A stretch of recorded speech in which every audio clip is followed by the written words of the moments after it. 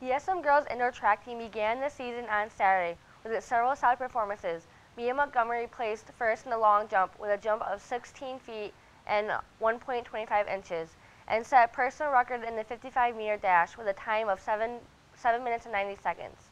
Lindsay Kregel placed third in the shot put with a personal record throw of 29 feet and 3 inches. Julia Shug recorded a personal record in the 1,000 meters, and Melanie DeFeo also uh, turned in a personal record performance in the 300 meter dash.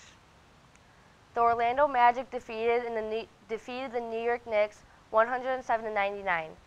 Nikola Vucevic tied, the tied his season high with 26 points and grabbed nine rebounds. The varsity girls volleyball team defeated Faith Heritage last night. Leading the team were Katie Mongoski with eight aces and one kill, and Julia Case with one ace and six kills. Jillian McCarthy added six, six kills and one ace, while Claire Marin added six aces. Isabella Calogino also contributed two kills. Bella, Bella Tallarico had 15 assists. Nice job, ladies.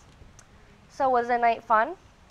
Oh, it was such a great time. We were able to have all of the, we had the modified players, and then we had our JV, and then our varsity team. And it was such a great feeling just to have the whole program there at one game. It was awesome. Yeah, awesome. Yeah, cool. and, uh, I, I hope that next year we do something similar to that. Modified night was really cool. It was great to see, you know, you've been in their shoes before, so now you're on varsity. It was just pretty cool. Cool. Yeah.